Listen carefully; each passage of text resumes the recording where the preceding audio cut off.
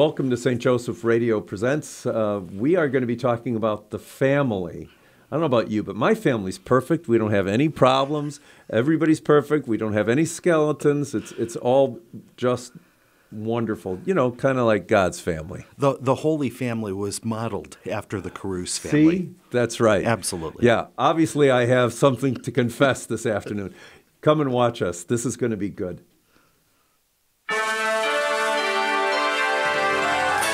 Welcome to the St. Joseph Radio Presents live program, broadcasting to you from the Rome of the West, St. Louis, Missouri. The program that for over 30 years has brought you eloquent speakers from across the globe to help explain, clarify, and evangelize the Catholic faith. Our program covers a variety of topics relating to current issues and occurrences in our daily lives. Now, with the aid of technology, we are able to bring the gospel message to the four corners of the world, where Christ Himself did say, Those who have ears ought to hear. It is our hope at St. Joseph Radio that through these programs we can help evangelize the world and change one soul at a time. Now, here is your host to introduce today's guest and topic. Well, thank you, Matt. And uh, I am your host today. I'm Peter Karutz, and I'm here live in studio with Dr. Gosser, Brian Gosser. Welcome. Thank you so much for having me again, and, Peter. And Doctor is a obstetrician. That's correct. So you know all about babies. I get invited to a lot of birthday parties. I bet you do. I bet you do. Yeah. But today's topic is going to be God's family, and uh, uh, you know maybe the family tree. You know, see. Uh, uh, God's family must be perfect, you know, like mine. I don't have any problems. I don't have any skeletons in my closet. There's no, no. I think I think God's family is very real and maybe very typical of of the world, huh? we yes, yes. I, I always am comforted by the fact that God had trouble with his kids. Yeah, so if I have trouble with mine, I you know, I have good company. Yeah. So we're going to reach back. This is going to be an ongoing series, next couple of months anyway, once a month. So keep us uh, tuned in on your uh, dial and programmed in your calendar.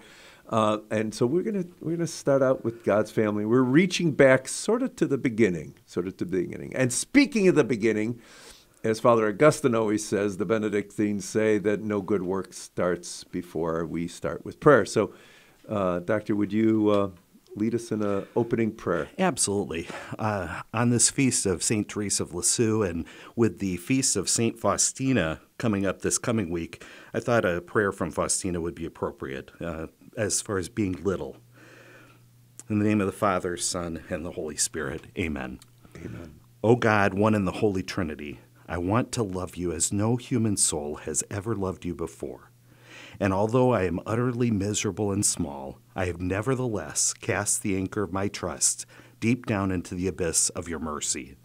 In spite of my great misery, I fear nothing, but hope to sing you a hymn of glory forever. Let no soul, even the most miserable, fall prey to doubt, for as long as one is alive, each one can become a great saint. So great is the power of God's grace, it remains only for us not to oppose God's action. Lord, we ask that you bless our families. We ask that you teach us about your family so that we can improve, that we can love you better. We give you all honor and glory. In your holy name we pray, Jesus. Amen. Father, Son, Holy Spirit. That was Saint uh, Faustina. Faustina, So. Saint Faustina, who lived many years ago in a far-off country as a as a nun, cloistered nun, if I recall, Right, a good Polish nun. I might good. Polish nun. So isn't that a, a, a sign of the power of God? Holy smokes! We're sitting here in St. Louis, Missouri, reflecting on a prayer written by a Polish nun who we, by all rights, shouldn't even know existed. Well, we, we uh, celebrate the feast day of St. Teresa of Lisieux today. Today, yes. Who spent roughly eight years of her life in the convent before she died of tuberculosis at the age of 24. 24, And in yeah. that brief eight years in the convent, she is one of the doctors of the church. Right. And her little way is not simple, it's very complicated. Yeah. But loving God in the simple, small things. And, and that's uh, Mm-hmm. when we look at history, I think if we can look at the small things, we find ways to love God every day. That's right, and and be confident uh, that you can do whatever God is calling you to do because God calls you to do it. I was in my men's group this morning, just to digress. There was a guy who uh, who said the opening prayer, and he, he uh, I invited him before, and he didn't, but he did this time, and he says he says, you know, who am I that I should uh, say this opening prayer in front of a big group? And um, I think sometimes we say that, who am I, right? Well, who are we? We're God's beloved children. Right. And He's going to care for us and make sure we have what we need to do what He wants us to do. And, and even someone small and obscure like Therese of Lisieux. Yeah. Had an impact on the church that, that was unbelievable. Yeah. That she never knew at the time of her life. Never knew. Never knew. And, and we may never know the impact that God has uh, planned for our life. Well, but for in the resurrection. But God knows. Right. So be confident. He, we can trust him. So tell me about God's family. Well, absolutely. You know, I, I will start with the caveat by saying I am not an expert on the family. I'm a student. Uh, you know, we, we talked jokingly at first about um, the difficulties that families face, and I know my family is no different. Uh, you know, there was alcoholism in our family. There was dysfunction. My folks were divorced when I was in high school. So th- there were some difficulties that I experienced growing up, and that's not unlike many families. Right.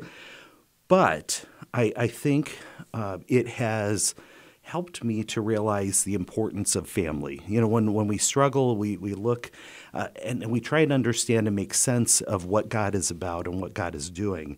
Uh, and you know, Sister Lucia, the one, one of the visionaries of Fatima, said, "The decisive battle between the Lord and the kingdom of Satan will be over marriage and the family." Sure, it, it's a critical time in our history. Families are under attack, you know, and people are are asking questions that we never thought to ask. What is marriage? You know, what, what does that mean? What what is a man and a woman? I mean, there, there are some ridiculous things being posed now, and, and we see that very clearly but um, you know, th- there's there's more subtle things going on as well in, in attacks on the family. And when we look at our history, the attack on the family has been something that's been going on since Adam and Eve. Well, without a doubt, and and I think we can say without without it's not, no hyperbolic statements here. The foundation of a society, of a church, of, of a people, is not necessarily the government, but it really is the family. Absolutely. The family is the foundation, and marriage is the basis of that fundamental unit of, of, of society the family unit? Well, the, the, family is relevant to everyone. Wh- whether or not people have their own children or not, we all are born into a family. Absolutely. We all have parents. Yeah. We all have extended family. Right. Uh, so it, it's something, it's a topic that we understand. And, you know, I, I always joke with my kids, you know, you can't you can't choose who you're related from. My, my kids are stuck with me. I'm stuck with my parents. I can't choose different parents. Uh, but I, I, firmly believe that God chooses the family for us specifically. Uh, that may be up for debate whether that's to you know, cause great suffering and great holiness as a result due to the patience. Or maybe he has a good sense of humor. Maybe, yeah. absolutely, maybe. Yeah, you know, families. Uh, they're they're the greatest for most of us, either the greatest source of joy or or even sometimes sorrow. Uh, you know, we journey together. We're we're not in this thing alone.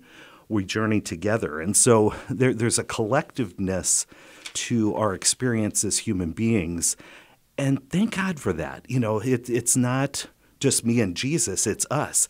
And you know, to, to look at the big picture glory to God for that because when we follow God, we don't just get Him, we get the Blessed Mother, we get the company of angels and saints. We, we have so many helpers along the way to get us there. Uh, we just need to, to connect with them. Yeah, yeah. And, and part of God giving us an imagery of Him as Father helps us to get closer. Uh, to the understanding of who God is, right? And we Absolutely. we take a look at that from different perspectives. Uh, you know, we need to be children in order to appreciate who God is. Well, when you look at a child, look at the absolute pure love that they have for their parents and confidence, right? You can have great confidence in your parents. Why?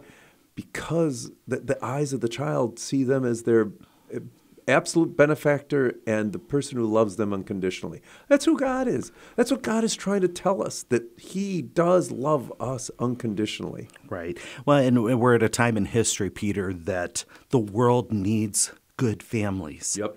it desperately needs good families. You know, we're, we're called to be a light in the darkness. And I think uh, how many of us can, can think back to a family that we knew when we were kids that spoke to us? Uh, they may never have been religious or we may never have seen those things but they were solid. They loved one another. They tried. They you know there was always screw ups and you know no no no family is perfect. But you know what? They they were doing something significant. And you could tell just by spending 5 minutes in their house that that something was different about them. Right yeah there you are yeah so i mean i, I go back to you know why why is it that we're even in a family um, in preparation for this time, one of the passages that came up was from the book of Ephesians, St. Paul's letter to the Ephesians. Uh, the whole book of Ephesians is a great Bible study uh, on the family. So if you um, if you feel inspired at some point this month, uh, definitely take a look at that. It's six chapters long. It takes probably about 20 minutes to read it. Uh, but it kind of gives you a, a, real broad look at, at family and what, what St. Paul was thinking. Uh, in Ephesians 3.14, he says, For this reason I bow my knees before the Father, from whom every family in heaven and on earth is named.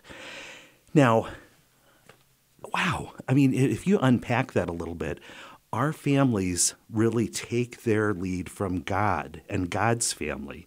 Um, when, when we think of God, um, God is all powerful, God is all knowing, God is all present. You know, the, the fancy words omnipotent, omnipresent, omniscient.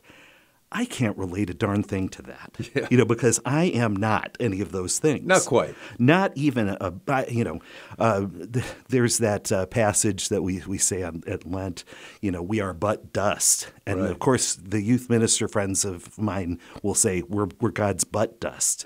um, you know, because we're just a speck tiny, compared. Tiny. We're teeny. I mean, not yeah. even an atom on, you know, God's elbow, you know, but, but yet, even with that, we have a God that wants to be known. And how does this unbelievably just superlative person make himself known to us lowly little peons? Well, when we think of God, who God is, God is Father, Son, and Holy Spirit, a Trinity.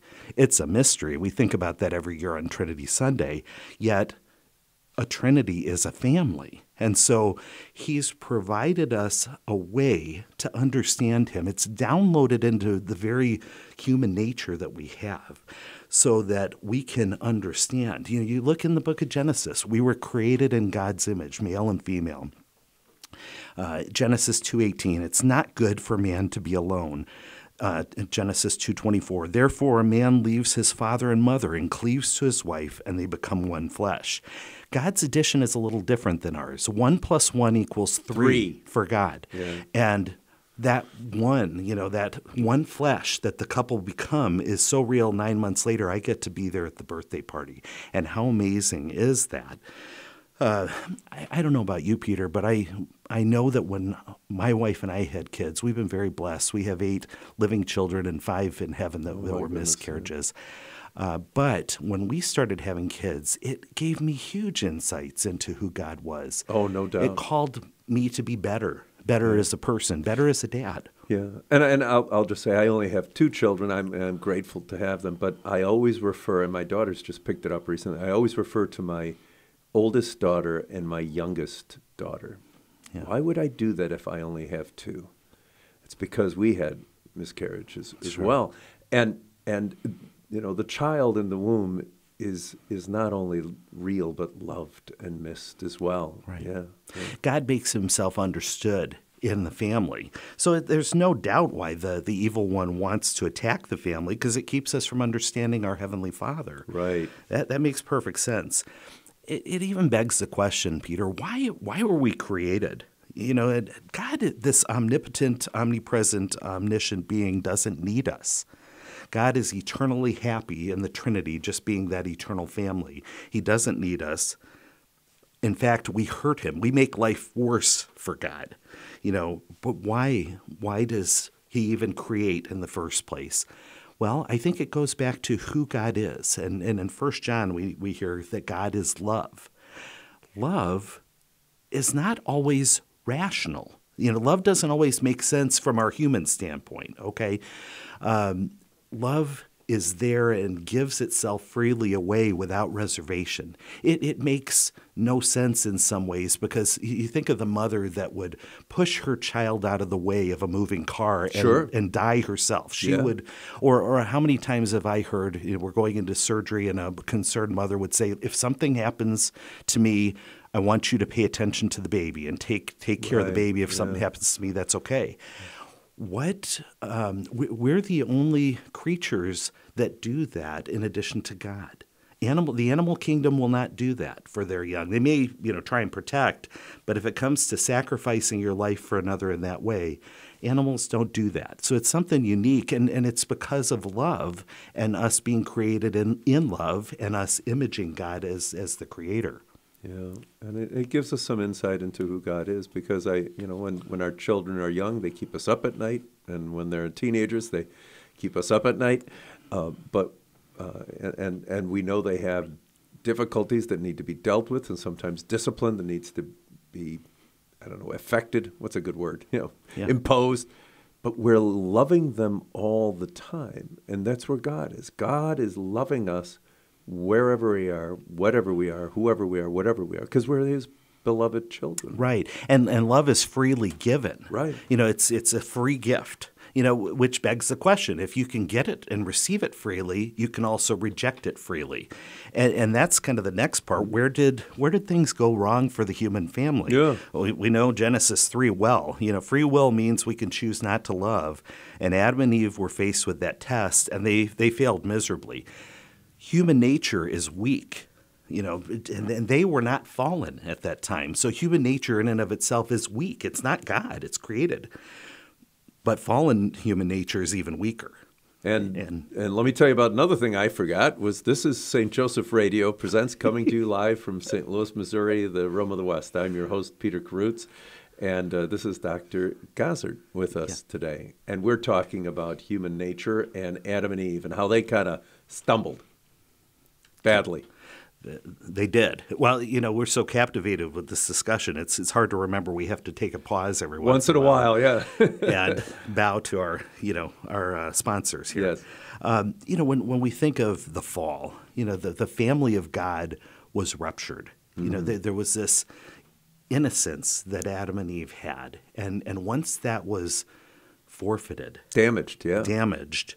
Uh, life, was never the same. It, it couldn't be. Uh, you know, if you look in Genesis 3, you know, the serpent, first of all, is cursed. Eve has pains in childbirth. I've witnessed that. Uh, there's some element of spousal domination, you know, where, you know, she, she's serving her husband now, and, and he's not he's not perfect either. Adam has to work much harder and toil and do his labor for God. But ultimately, as you mentioned, death enters the family. Yeah. Prior to that, there wasn't. Um, and it, it's not fair. You know, I, I think about that. For, for those of us that are not Adam and Eve, it's not fair. It's not our fault. Yeah. I mean, I, why is it that I'm taking a hit for what they did? Interesting. You know, in our 21st century uh, modern thinking, we're very individualistic. Why should I suffer because of somebody else's screw up? You know, it, it's kind of like though, the, if my grandfather lost his house in a poker game, I still don't get his house That's right. he blew it, you know, but I, I don't get that inheritance that he was going to give me. So there, there's a generational and a communal aspect to sin, and it's a loss of grace that affects all of us. And, and that's and, just, and that's the way just is. being real, right? I mean, it's just being real. If parents do bad things, it's going to affect their children. right. It, and it isn't fair, but uh, there's no rule that says life is fair.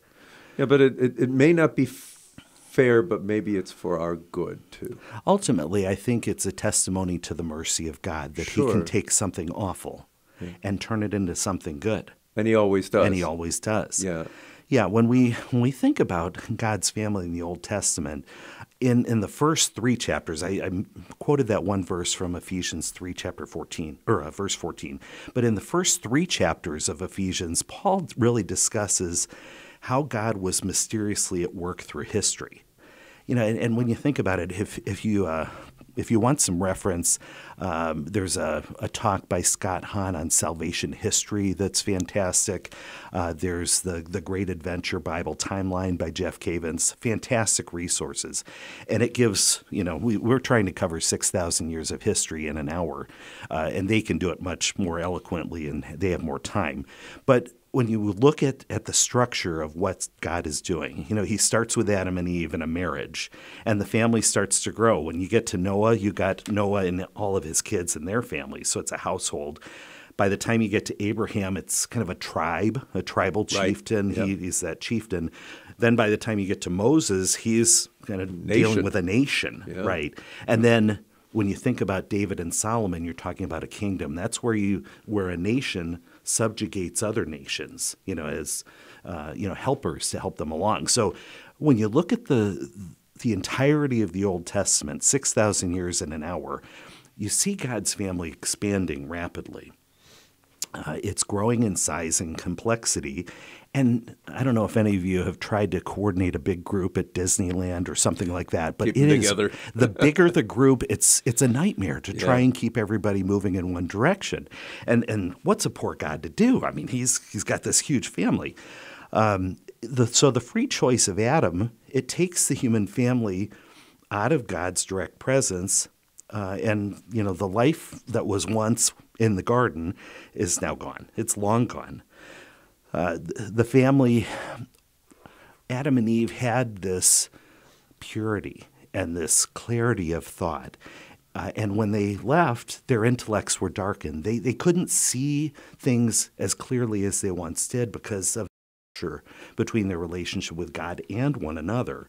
Uh, and and then we can't see the path home. And even if we could, here, here's the kicker our prideful will is weak we wouldn't choose to go back in and of ourselves apart from grace. Yeah, and you said that it, it, said it quickly, but you said when they left the garden, and I, I think that sometimes we were talking about this this morning.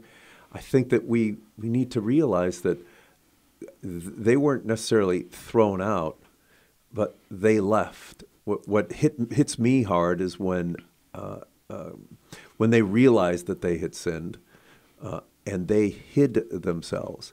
And, and I, I think the word hid or is very uh, telling of the word run or hide or uh, go away.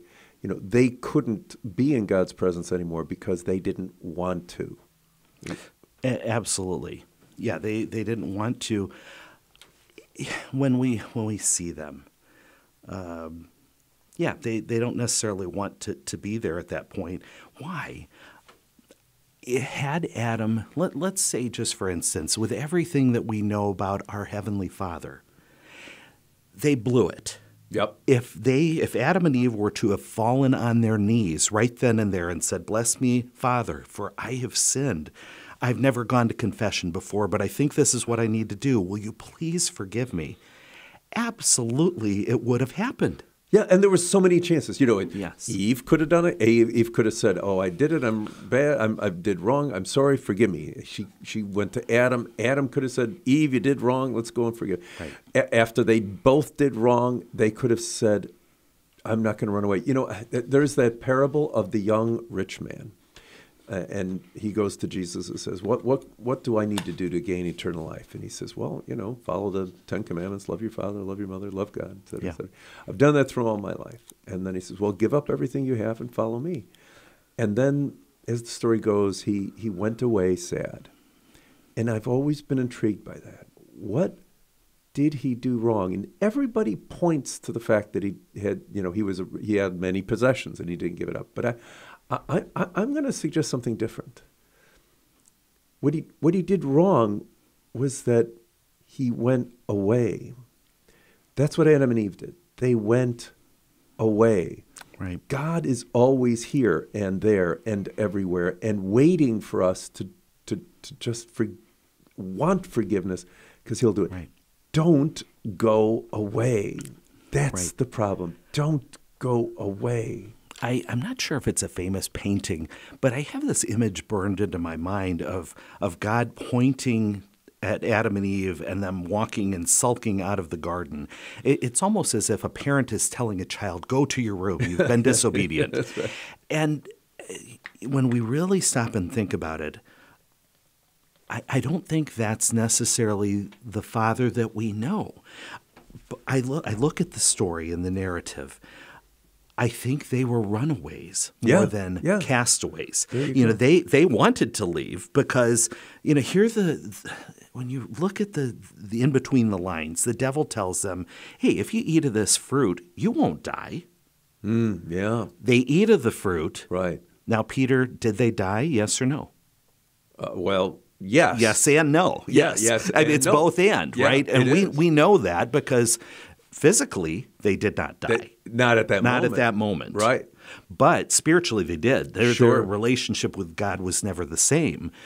They had given up their their dignity, their sonship and daughtership, if you will, uh, for something else. Yeah. Okay. Uh, and so it, it's a scenario where I, I, could easily see Adam saying, God lied to us. Yeah. He said we were going to die. Here we are. The devil told us the truth. And, and so as a result, what else is the devil right about? And there they go on their merry way out of the garden, and now they don't have an opportunity to come back immediately. The, the devil has his own mo, doesn't he? I mean, he uh, through all eternity, he does. He is the father of lies because he mixes a, a little salting of the truth, right? For no other reason than to misdirect. So he told them, "You will surely not die," and and and the truth was they wouldn't die at that particular moment. God's word was still true. But that's what he wants to do. He doesn't want to he, he wants to just push us off, you know, half a degree, move us away. And how does he do it? He puts a little bit of the truth in there, which makes his lie so much more effective. Right. Well, and spiritually, they did die. Spiritually, they did, die. which was a fate worse than physical death. Of course, yeah, because they they gave up something so precious right. that they didn't appreciate. Right. Getting back to to the six thousand years of history, which we need to get through. Uh, I, I realize we're woefully ignorant of our, our history, and maybe we'll get to that when we get back. And we will. so, this is uh, our opportunity to regroup and get to that 6,000 years. Now we have a half an hour to, to get to the rest of the 6,000 years. But this is talking about God's family, starting way back at the beginning of this family tree. Uh, we're not perfect, uh, never will be, never have been, but uh, you know what? We're loved. we're loved just the way we are. So, this is your opportunity to go out and tell somebody about what you're listening to and encourage them to turn it on, ask them to join you. And we'll be back in just about two minutes.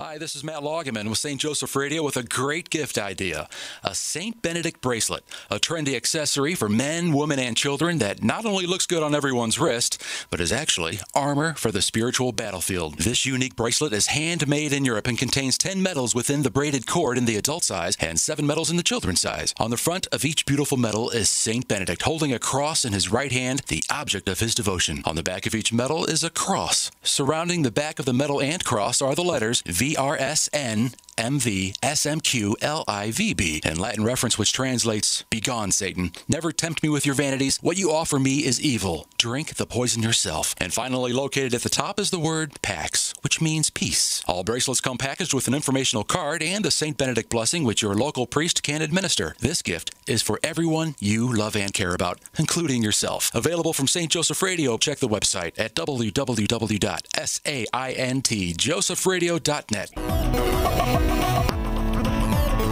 St. Joseph Catholic Radio is proud to announce the launch of SJEN TV, the St. Joseph Evangelization Network. SJEN TV is a premier online Catholic broadcasting network providing quality Catholic programming 24 hours a day, 7 days a week. We have programming such as live studio interviews, St. Joe's Java speaker presentations, current Catholic issues, and the Pro Life series. We're featuring the many talented speakers out of Orange County, California, and this Archdiocese of St. Louis, Missouri. Including Professor John Gresham, Father James Mason, Karen Nokemper, Rick Hollerick, Bill Federer, and many more. To review the program list, go to sjen.tv or on Roku, SJEN TV. All this programming is free, and we are welcoming sponsorship of new programs. Find out more at sjen.tv. And we're back. Uh, this is St. Joseph Radio Presents. I'm your host, Peter Karutz. We are here live in St. Louis with Dr. Gosser, and we were just looking at the phone, making sure that all the moms are doing well, and so far, so good. Yep, babies are staying put, and that's the deal I had with God anyway, so we could do this talk. That's right, yeah. So, uh, 3 o'clock this morning, don't worry about sleeping. You'll have other things to do. I, I was awake this morning preparing for this talk, and fortunately, no babies interrupted that preparation. There you go. Yeah. There you go. So, as I was saying, I, I think as um, a 20, 21st century uh, Christian audience, we're woefully ignorant of our family history Yeah. and genealogy. Um, I, I made reference to the Great Adventure Bible Timeline by Jeff Cavins. Uh, for those of you that are on that are seeing this on video, I've, I've got this here. It's a four piece of paper timeline of of basically the entire Old Testament. Um, I'm sure you can see it on the radio as well. But yes, of course. yeah, absolutely. I think the question to ask ourselves is we read these narratives in the Old Testament. Where did all these other nations come from? Yeah. You know, I Oh, think yeah. it's Oh, these, mysterious, you know, it, it's like the Native American population in, in America, or, Mm. you know, the, these people just ma- magically show up. Uh, and I, I think that something like the Bible timeline, uh, the Great Adventure uh, series really gives us an idea and an understanding much better of where these other nations came from. Uh, when we think of God's people, where where did God's people come from? It was Noah's family. You know, after the flood, everybody was wiped out, but Noah's family, uh, and we tend to use certain words intercha- interchangeably, like Semitic peoples or Hebrews Mm-hmm. Yeah. or Israelites or Jews. Sure. You know, but for someone like St. Paul, who knew the Old Testament like the back of his hand, because basically he didn't have the New Testament under his arm, it wasn't had it formulated. It was in his head. It was in his heart. Uh, but he had the Torah, and he, you know, had probably a lot of these writings of the prophets and whatnot. Um, when we look at the timeline, for example, um, one of Noah's sons, Shem, became the father of the Semites, the Shemites. Okay, um, there was a the great grandson of Shem was named Eber, and he was the father of the Eberus, the Hebrews, uh, and Jacob Israel. You know, the father of the twelve tribes. Joseph was one of the kids from the amazing. Yeah, time. right. He had the coat of many colors. That's right. You know, he was renamed Israel, and so the Israelites were basically descendants of, of him, and and the Jews were descendants of Judah, which was one of those tribes. So Right. it's kind of, you know, as we think of our family genealogy, I don't know if any of you have done that for your own family. Uh, the early uh, Christians, like St. Paul and, and those folks, knew their family history much better than we did. So they, they this wasn't lost on them. The other branches, we talk about these other tribes. Uh, Ham, for example, which was one of the, the sons of Noah, he had couple of sons Egypt, Canaan, Lot, which was Abraham's nephew, had a couple sons, Ammon, Moab. You know, so when when the Israelites or, or when the early Christian church would hear these names, these countries, Right. They knew exactly where they came from. It was basically my uncle's cousin's family. That's right. And and sometimes those branches of the family were not all that godly. They had gone off and fallen off the family tree a little bit and gotten off course. When when we think about uh, the the garden, you know, there there was the devil, and there was a third of the angels, the devils. They were very much present outside of the garden as well. And many of these other branches of the, of the family tree fell into idol worship. They fell into worshiping false gods. And really, it was these demonic influences that led them to do very perverse things. You know, so when, when we think about all of this, it's, it's kind of a big family feud. There's no uh, Richard Dawson or uh, Steve Harvey or anything like that, but That's it's, it's a big family feud where God's family is growing and there's persecution, you know, f- from from these other families. and continuous falling aways, Right. right. You know, I mean, we talked about all of those lines of, of, of, of families, if you will, or nations or kingdoms, but many of them, all of them, almost all fell away. Some never came back. Absolutely. You know, so as I mentioned, you know, Noah was the start, the fresh start.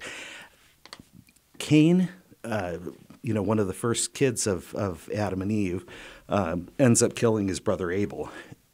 Immediately leaving the garden, I, I think the children are more rebellious when they first leave Yeah. God's presence. Uh, and Cain and, and his generation were very evil. Uh, we, we jokingly say because Cain was a farmer and, and Abel was a, A rancher. shepherd, yeah, kind of a rancher. Yeah. And, and there's I saw something on Babylon Bee that said um, the reason Cain's uh, offering was rejected was it was actually kale in the very early, you know, and, and God did not Oh. accept that as an offering. So, not a plug for the Babylon Bee, but I thought that was Yeah, that you was know, good. Well, yeah, uh, yeah, yeah, So, you know, when we we see what's going on, you know, God had so much concern for Seth. You know, after Cain and Abel were gone, Seth came along, and, and Seth was the line that God's promise. And and and by promise, I mean th- th- this was the line that was faithful. They they continued to worship, they continued to pray, and try and follow. Not perfectly, of course, but they tried to follow what God had commanded them to do and be faithful to that. So you know the the human family was preserved through Noah after this flood because it, it got so crazy and so evil. It- It's as if God said, "I need to take my child out of this situation." You know, when God fathers His family, sometimes for their own good, He has to remove His children from a very evil situation. And that's what we would do as parents, too. Absolutely. You know, whether the child likes it, doesn't like it, understands, doesn't understand, Right. it's what's good for them. So that's what God would do. That's Right. what we would do. right. Go boating. You know, uh, build a boat. Right. And, and put your kids in there. Yeah, yeah it's going to get wet. It's going to get wet. The problem, though, is original sin got on the boat with them. You know, you you can take the the people out of a sinful situation, but you can't take the sin out of the people. And I, I think that's clearly what happened with Noah's family. Uh, and you can read the the narrative uh, and, and know about it as as well as as I do. Um, so you know, it, it entered the ark. Uh, and God promised He'd never wipe away humanity again. He sent the rainbow. So okay, God's kind of stuck now. He's got to Right. He's got to figure out a different way because He can't just wipe wipe us out again Right. To protect His His truth. Um, but I, I think the really important take home point is is that God doesn't want to do that. This is a father that loves all his children, even the ones that have fallen away, especially the ones that have fallen away. Uh, this is the father that will leave the 99 that are doing what they're supposed to be doing and go out after the one that's lost. You know, he, he hasn't forgotten about these wayward children, even though they're worshiping idols, even though they've completely rejected him freely and walked away, he still loves them and wants to somehow provide a scenario that, that can bring them back home. And will and does. And will and does. Yeah. Absolutely. Is God a vengeful God? Well, I, I think the way I would answer that is God sometimes lets us accept the consequences of our actions. Say that again, because that was good. Because God will let us accept the consequences of our actions. Right. He steps back and says, okay, this is what you want. I think that's completely wrong, and it's not in accordance with what I know is best for you. But because you want that more than me, I will let you have it. Free will, he respects our free will, and it's almost a condition of love. How do I love somebody if I can't freely choose not to? God wants us to love him, so he'll even risk ha- uh, having us uh, reject him. Absolutely. There, there's the old adage everything happens for a reason. Sometimes that reason is you're stupid and make bad decisions. and, and this is played That's out right. in almost every generation of the Old Testament. You know, they we're reading this and we're shouting at the Bible, "You idiots! Why are you doing this? God has given you so much. Why don't you see it? Yeah, stop and doing yet, that. Yet the plank is sticking out of our own eye. We we don't see that. We're looking at the speck in the in the Old Testament. We we see how God is is fathering His family, and there's a pattern that develops. You know the the kids are desiring something other than God, so they they're sinning they eventually get thrown into slavery or servitude because of these bad decisions. They realize what an idiot I am, and they cry out to God in supplication. Uh, and in God's mercy, He reaches down. When they finally kind of learned their lesson, He reaches down and saves them. Uh, and then, then there's peace. You know, there's peace. What what did God have in mind? This is a, a great question from the Old Testament because I think it gets clouded by all the sin and all the idolatry and all the stuff going on. What did God really have in mind for his family? Uh, because he, as any good parent experiences, we can't just clobber our kids over the head with the truth because they won't receive it. So, what do we do? We sometimes just have to be silent and wait for those proper moments when, we, when they're receptive to it. And I think that's exactly what God does in the Old Testament. We, he kept his mouth shut because they weren't going to listen and they weren't going to do anything about it. So, the first thing that comes up is in Exodus 4, uh, verse 22, uh, with Moses. You know, Moses, God says to Moses, Say to Pharaoh, Thus says the Lord, Israel is my firstborn son. The way that God saw this whole picture was that, that the people of the promise, those that were following him, were supposed to be the older brother. It wasn't that you're better than all these other kids. You know, I'm mom's favorite, I'm dad's favorite. That's not it at all. It's you're the older brother, but you're supposed to serve these younger ones, teach them right from wrong, be a good example. But in those days, the sin of those other tribes, those other families, was so great. And spiritually, the Israelites, the, the family of God, was so weak that the sin would overcome the goodness in those people. So it, it evolved into you got to kind of stay stay away from these people because you're not strong enough. Right. And they weren't. You're not ready. They weren't. They weren't ready. You know, God had a lot of growing up for them to do That's right. before they were going to be ready to do this. So, you know, that's that's one thing that that uh, Israel was called to be the firstborn son, the older brother, and in that time, that older brother was meant to be the priest. Or, you know, the, the father, the priesthood at that point was The head of the family. The head of the family. Right. You know, there was not a separate priesthood. Right. The father was the priest and the provider, and the oldest son would get a double portion of the inheritance because he was supposed to take care of the younger members of the family and would inherit that that spiritual priesthood in a sense, the natural priesthood. Greater responsibility and you know, Exactly. there were resources for him to fulfill that greater Exactly. So there was a special role. Um, the, the other thing in uh, Exodus 19, verse 6, God says, If you will obey my voice and keep my covenant, you shall be my own possession among all the peoples. For all the earth is mine, and you shall be to me a kingdom of priests and a holy nation. You know, so he, he wants to make us those, those priests. You know, we're, we're all called by virtue of our baptism, priest, That's prophet, right. and king, right? That's right. Uh, and that that was the original plan. So he's saying this to Moses up on Mount Sinai, and then a few minutes later he says, um, "You need to go down and talk to your people." He goes down, and there's this golden calf, Immediately doing the worship of idols. Uh, Come on. which was one of the idols of Egypt. They, Right. You know, they had gotten out of Egypt, but Egypt was still very much a part of them. Yep. Even though they had gone. So here they are worshiping the golden calf. The Levites step up, and they're the only righteous ones that are willing to obey what God is saying. So they're anointed the priests. So the firstborn son doesn't get it. It's now the Levites. So it's kind of plan B for God. So we, we talk about Israel being the firstborn son, that God wants a kingdom of priests. Then in Numbers 11 29, these are these little tidbits that God is saying. Um, Moses is showing the people the promised land. They're overlooking on this, you know, mountain overlooking Canaan. And he's showing them where God is calling them to go. And there are these two guys that didn't get the message they were supposed to go see this place, and they're prophesying in the camp, Eldad and Medad, uh, and they're saying, "Tell them to stop." And Moses says, "Oh, that all the Lord's people were prophets, that the Lord would put His Spirit upon them." You know, so these, these little rumble strips, you know, firstborn son, kingdom of priests, prophets, uh, and then in First Samuel, we see that God's people want a king. Yeah. And we'll get to that. We'll get to that. God didn't want to give them a king, they wanted a king.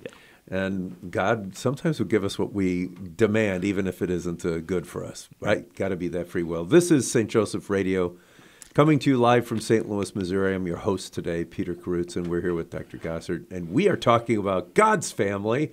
Uh, we're reaching way back. Where, where where'd we end up right now in our in God's family? We are at the time where the Israelites are asking for a king. They're God asking- wants to be their king. He says, Right. "I'm your king." He's the king of kings. I am the king of kings. But you want one? You want to be like everybody else? Well, I'll give you what you want. He does. He acquiesces to what they're wanting because he doesn't want to push his kids away. If he says no, they're going to leave him. Yeah. So he says, All right, you want a king? I'll give you Saul. And then Saul anoints, well, Saul ends up getting uh, taken over by David and then Solomon. You know, so the children don't realize that they're already royalty. They've forgotten that, that they're royalty, and they, they want somebody else to be royalty in their lives. You know, so firstborn son, priest, prophet, and king. We see that clearly. This is what God wants in the Old Testament for his family. These are the most important things. So, did Paul know his Old Testament? Did he know all this? Did he see this? You know, in in the beginning of Ephesians, he talks about the mystery. For he has made known, this is uh, verse, chapter 1, verses 9 and 10. For he's made known to us in all wisdom and insight the mystery of his will, according to his purpose, which is set forth in Christ as a plan for the fullness of time, to unite all things to him, things in heaven and things on earth. Now, that word mystery is kind of, um, uh, it's an unusual thing. Uh, there, there's only one place in the Old Testament where that word mysterion is used, and it's the book of Daniel. Is that right? A Book little- of Daniel, and it's used eight times in one chapter, Daniel chapter two. Do you think that's a coincidence that he mentions the same word that's you know he he's pointing his readers to the book of Daniel, and and in this in this story, uh, Nebuchadnezzar, the Babylonian king, Bad guy. He's he's had a dream, and he says, "I want somebody to tell me what this dream means." And all his sorcerers say, "Sure, we'll we'll tell you." And he says, "Okay, first of all, I want you to tell me what the dream was, and then tell me what it means." And they said, "How can we do that? You tell us, and then we'll interpret it." And he wouldn't do that. Well, of course, and he's smart because then they would just say something Right. to please him. Yes. Right. Uh, you know, I, I've thought about calling up the psychic hotline and saying, Yeah. I'm not going to give you my name. You already know that. Right. And that's what Nebuchadnezzar is doing here. Uh, and D- Daniel, the prophet Daniel, responds to his challenge and proceeds to give him the story of the, the beast that has four metals. Okay, there's gold, silver, bronze, and iron as parts of this beast body. Uh, and then he interprets it. There's four kingdoms. There's Babylon, then there's the Medo Persians, the Greeks, and the Romans. There's four kingdoms that are coming. And his is, hey, king, guess what? You're not going to be the top of the heap for too much longer because this is going to going to not go your way. But what Paul sees in this story is that God is going to use these nations to purify his people. Okay?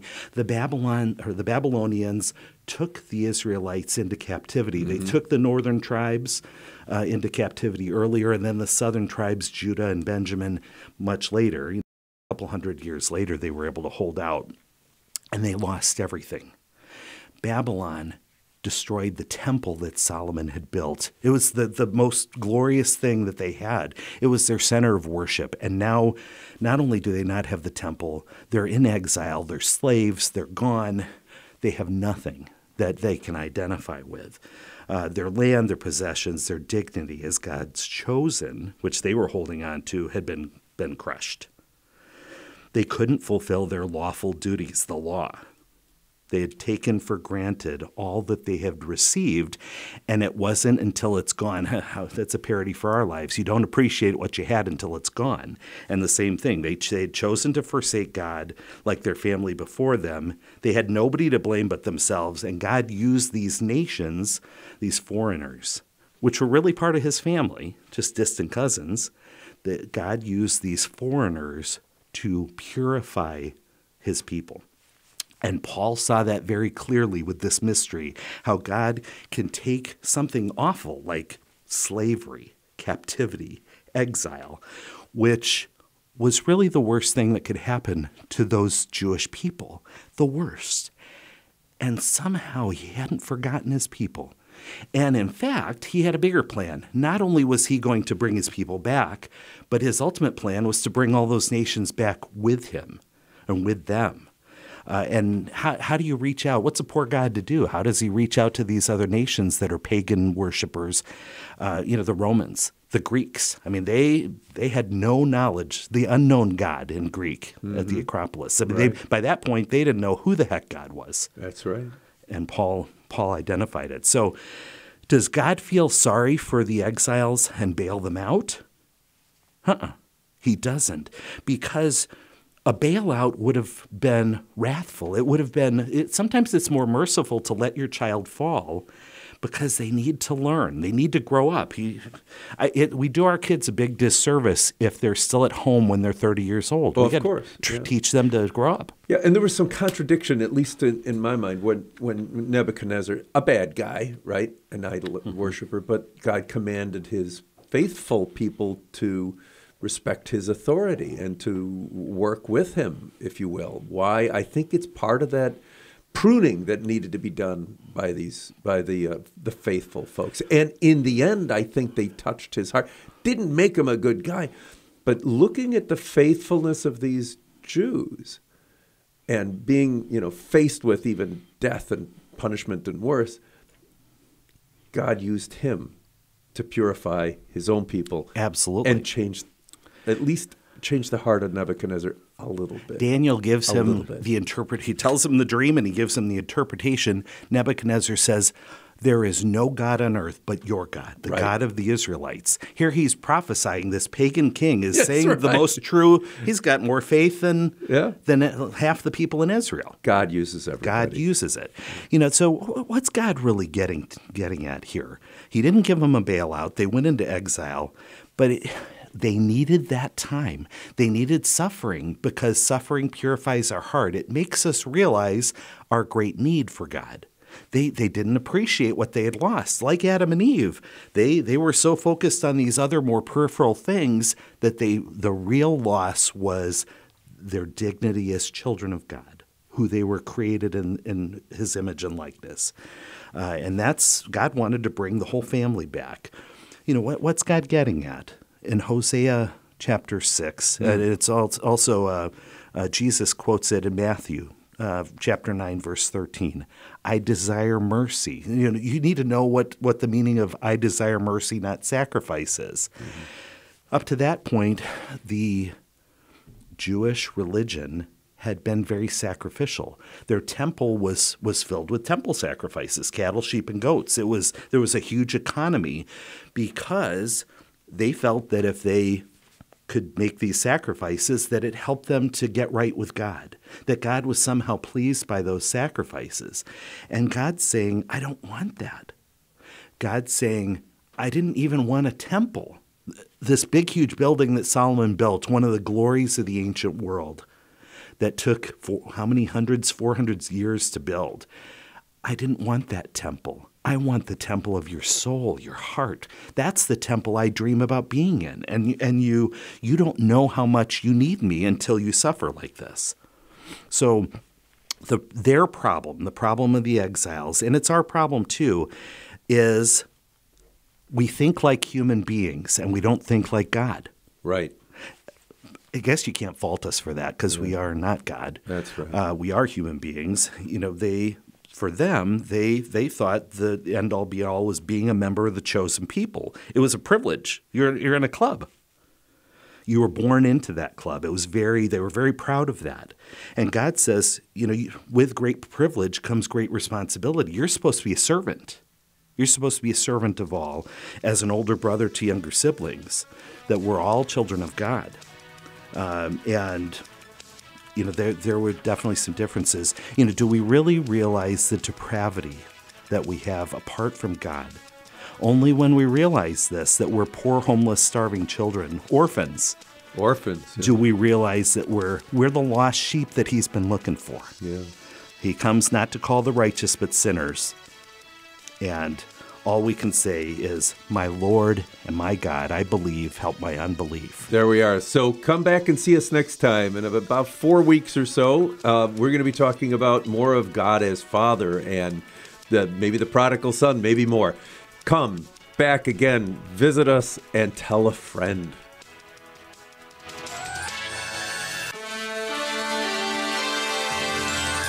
You've been listening to St. Joseph Radio Presents from the Rome of the West, St. Louis, Missouri. If you would like to join us in our evangelization efforts, you can order a copy of today's broadcast or any of our past programs by visiting us on our website, stjosephradio.net. That's S A I N T, josephradio.net. Or call us 636 447 6000. It's all at your fingertips to help us evangelize the world, bringing the good news of Christ to everyone you meet and change one soul at a time. Thank you for your prayers and support. Until next time, may God bless you and your family. This has been a presentation of St. Joseph Radio Presents.